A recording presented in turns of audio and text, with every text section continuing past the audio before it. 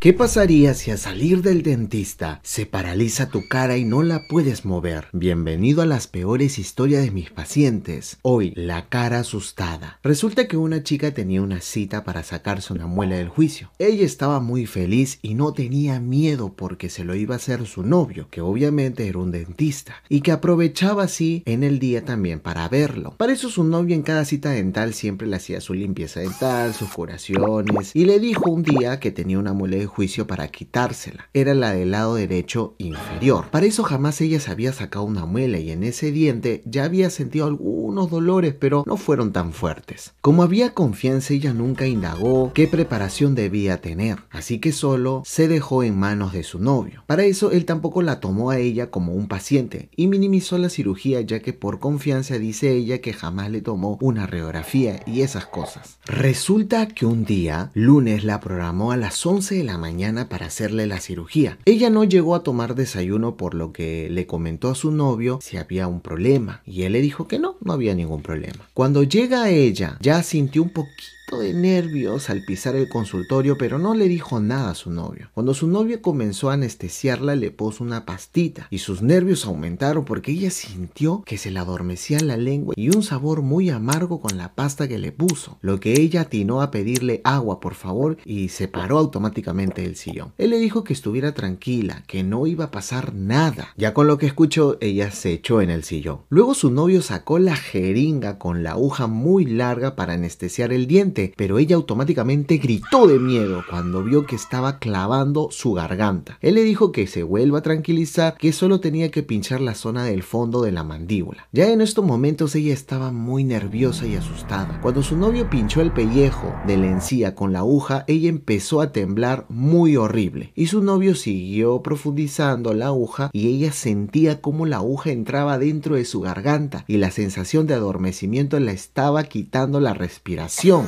De anestesiar colocó más de tres anestesias y ella ya no podía hablar hasta que se desmayó. Su novio cuenta que luego de ocho minutos volvió a despertar y ella asustada le pidió por favor a su novio que no le quitara la muela y que quería irse a descansar. Cuando vio el rostro de su novio, que no decía nada y sus ojos se abrían, le preguntó qué es lo que pasaba y él solo le dijo que le iba a pasar un espejo pero que no se asuste, ya que eso se iba a quitar en tan solo cuatro Ella asustada le quitó el espejo y sin sentir el lado derecho de su cara, se miró al espejo y vio su rostro caído del lado derecho, que fue la zona donde su novio anestesió. Sin poder hablar bien y sin cerrar el ojo empezó a gritar y salió corriendo del consultorio hasta no verlo nunca más a su novio.